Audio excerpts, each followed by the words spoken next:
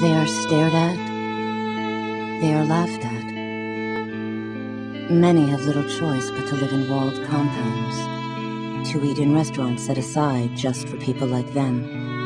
It can be a lonely existence. Who are these people? The filthy rich.